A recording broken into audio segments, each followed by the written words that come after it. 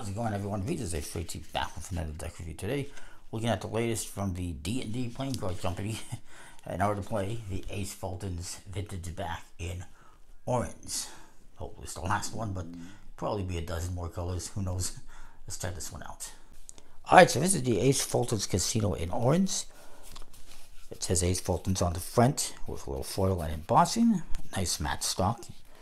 D&D Playing Card Company on one side. Ace Fulton's Casino on the other. A letterpress, Ace Fulton's on top, and then Cambric, Finstock on the bottom. It says 2019, even though it just came out this year, so that means they've been sitting on those for a while, or they screwed up on the bottom.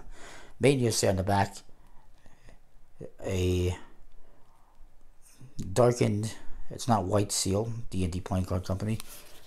It's like weathered, almost a little trademark stuff on the flap for Cambric Finish and 37 on this flap.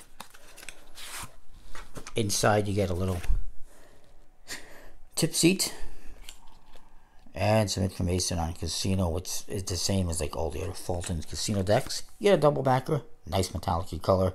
This is the original vintage back in brown and this is the current one in orange. When I saw in the last deck that they had a double back like this, I figured orange would be coming. Plus, brown and orange were two of the first colors that they did, so it kind of made sense. I would not be surprised if there's more colors in the future, but I kind of hope not.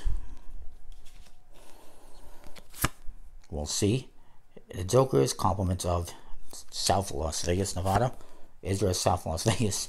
Is that it even have casinos? I don't know. Honestly, I've never been there. Ace Fulton's Casino on the Ace of Spades of D&D Playing Card Company. The cards have the standard Arco faces for court cards and the number cards. Pretty nice. It's a nice metallic back. It's a nice color. I I don't hate it. I'm gonna give it an A. It's a nice deck. I like it handles good.